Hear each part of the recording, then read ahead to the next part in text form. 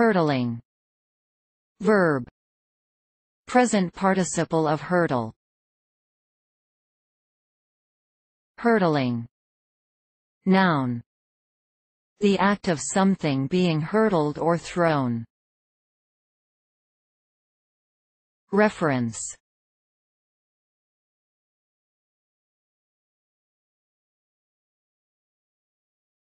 Please support us with your subscription.